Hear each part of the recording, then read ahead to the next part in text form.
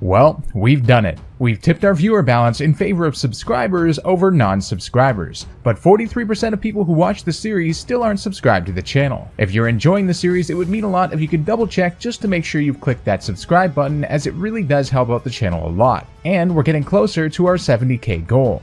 Thanks guys, enjoy the video. We've made it to the second last match of the losers bracket in the Johto True Power Tournament. Last time we saw a fierce battle between Gym Leader Clair and Gym Leader Whitney that was truly an offense versus defense battle of epic proportions and came right down to the wire with an insane ending. Today we'll be witnessing a battle between the highest ranked Gym Leader in Johto, Clair, and an Elite Four member of the Indigo Plateau, Karen. Clair returns with a predominantly dragon type team, and in this match against Karen, she's to have to make use of her mixed offenses and strike at the right time using her non dragon Pokemon where she can. Karen, on the other hand, will have to play her defenses right while picking out times to strike with Pokemon like Weavile and Houndoom. Both trainers are ready to battle, so let's head down to the arena for what is bound to be an exciting match. Here we go. What an absolute powerhouse battle we have today is we've got Karen of the Elite Four versus Clair of Blackthorn City. Karen starting off very strong with the Weavile, perhaps realizing that that Weavile is very strong against almost Clair's entire team, with perhaps one exception being the Kingdra, which she did send out. Kingdra, a very good choice for Clair that is her signature Pokemon, quite bulky but quite powerful too, so Karen is going to be forced to switch out early on, and going into the Vileplume. Now Vileplume is something that you would imagine would be able to tank a Kingdra's moves pretty easily. Here comes the Hydro Pump, and yes, Vileplume absolutely eating that up even despite how powerful Kingdra can be. Vileplume getting some recovery as well. Kingdra is going to go for the Ice Beam now, though. Oh, perhaps not anticipating that the Kingdra had Ice Beam. That is going to be super effective and doing a whopping amount of damage on that Vileplume. But Vileplume going for the Sleep Powder here. So all of a sudden, the Kingdra will be put to sleep. And now this is a little bit dangerous because, of course, Clair at this point wouldn't really want to switch it out because then she'd have to send it in back in again later as pretty much death fodder if it still remains asleep. So now, all of a sudden, the Vileplume can go for the Giga Drain. That's going to do a little bit of damage and get some recovery back too. Won't be super effective, of course, because of Kingdra's Dragon typing, but still doing a decent amount of damage there as Kingdra gets some recovery and it looks like the Vileplume will get some recovery back from its Black Sludge as well. So here, it all depends how long this Kingdra stays asleep for. It will stay asleep on this turn, actually. So now the Vileplume will be able to get off one more Giga Drain and increase its health even more in addition to the Black Sludge. Kingdra luckily does have its leftovers though, so it should survive one more if it does stay asleep. But either way, this Vileplume is really getting some health back, that is for sure. Let's see what happens on this turn. The Kingdra does wake up and goes for the Ice Beam, although at this point it doesn't look like it will be enough to take down that Vileplume. No! Vileplume surviving it, going for another Giga Drain. Will that be enough on the Kingdra? No! The Kingdra surviving thanks to his leftovers, and Vileplume will now be a little bit above half health whereas Kingdra is going to be just in the yellow here. Now, it would be dangerous for Clair to switch out here because the Vileplume could go for Sleep Powder again, of course, or perhaps even Sludge Bomb if Karen makes a prediction. Clair knows that Karen is a smart trainer, that is for sure. Another Ice Beam, no! The Vileplume surviving just barely, able to go for the Giga Drain, and that will take down the Kingdra. So we had a very bulky, bulky battle. Both Pokemon kind of fulfill a similar role, in fact. Both have very, very good special attack, but also very good bulk. So Karen and Clair are trying to exchange blows here, and now the Charizard. Clair realizing she can pick up some momentum here with the Charizard going up against the Vileplume, and here comes the Air Slash. Now Karen doesn't really have anything to switch into that, so she will let the Vileplume go down. Vileplume pulling off a good, good move there in the beginning, because Kingdra is, of course, one of Clair's key Pokemon in this battle, and now Karen sending out the Honchkrow. The Honchkrow is a very dangerous threat for most Pokemon, really. Charizard's gonna go straight for the Flamethrower, though. Clair deciding not to switch, perhaps a smart choice, and doing a whopping amount of damage on the Honchkrow, and the burn!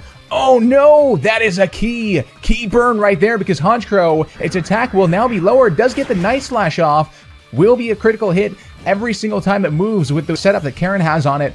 But of course, Honchkrow getting burned is not a good thing at all. Going for the Sucker Punch. Oh, but it failed. Oh, Clair predicting the Sucker Punch, realizing that Honchkrow would want to outspeed the Charizard on this turn, knowing she'd go for Sucker Punch on it. And now the Honchkrow will go down to the burn, while all Charizard got is recovery from Roost. So Clair getting a little lucky, of course, with that burn, but capitalizing on it immediately.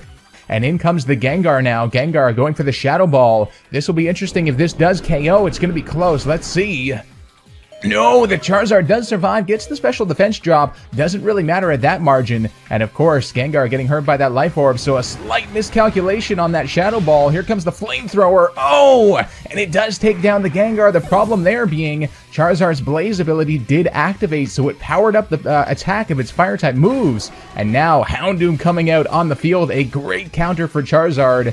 Uh, Clair is not going to want to switch anything into this because, of course, the Houndoominite will activate and Mega Houndoom will make its way onto the field. This thing will outspeed everything on Clair's team. That's the problem with it. A very dangerous Pokemon and Charizard putting in some good work but it will go down. Ultimately outmatched by that Mega Houndoom, and now Garchomp coming on the field. That is a big threat for Houndoom. Houndoom could outspeed it, but it likely won't KO, so Karen is going to be forced to switch here into the Umbreon. Umbreon, a very, very physically defensive Pokemon. We know that all too well.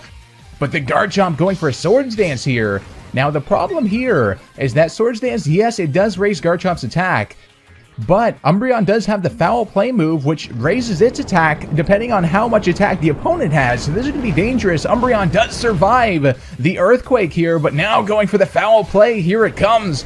Should do a huge amount of damage on the Garchomp, but the Garchomp does have the Focus Sash, it seems. So perhaps Clair realizing it was worth the risk there, given that she had the Focus Sash, and now all of a sudden the Umbreon will be outsped, but it is going to go for Protect. So perhaps Karen trying to get a little bit more recovery on that Umbreon, maybe hoping it might survive, but I don't know. That, oh man, that Garchomp is powerful, especially after a Swords Dance with the Stab 100 base power Earthquake. Umbreon getting a little bit of recovery, above half now. But here we go. Oh, it's going for Protect again. And it actually lands. The double Protect lands. Karen making sure to just try and get as much health back as possible in the odd chance that the Umbreon does survive. It is going to get some recovery. I don't know if that's going to be enough. It's going to be close, though. Let's find out. Garchomp, there's no room for a triple protect here. Earthquake on the Umbreon after Swords Dance.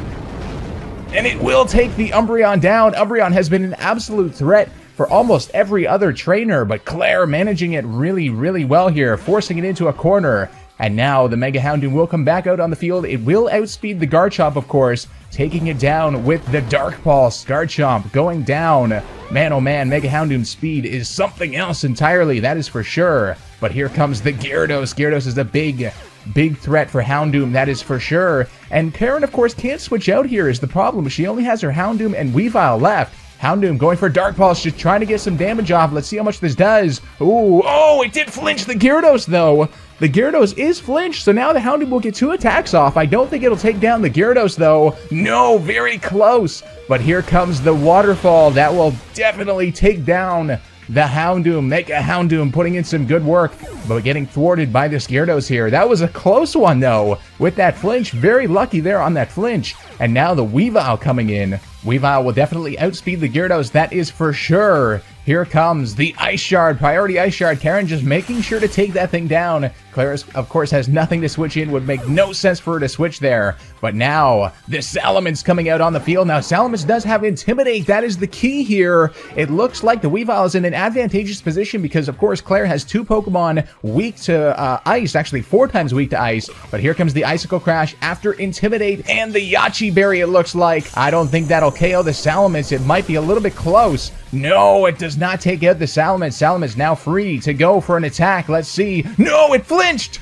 Oh, this is impossible! Weavile, Ice Shard on the Salamence! That will take it down, I think. Yes, the Salamence going down. Another flinch from Karen. Karen getting some luck towards the end of this battle, perhaps making up for that burn earlier on. Oh man, now all of a sudden we have Dragonite versus Weavile. The problem here being Dragonite does have the extreme speed, doing about half on the Weavile. Weavile going for it. Oh no, it missed!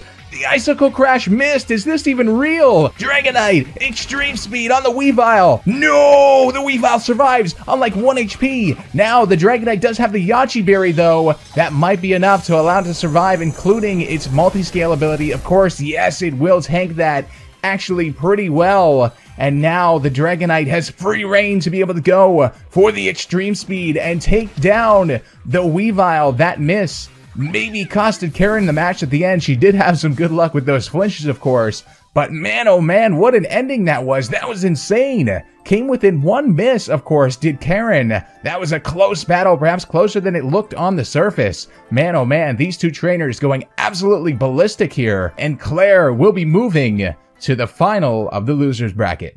Before we go, I'd like to thank the patrons who are making this tournament possible. If you guys want to help further this series' potential and support it, the link to my Patreon page will be in the description below. That's all for this one. This has been SilphSpectre, and I'll see you guys next time for more True Power.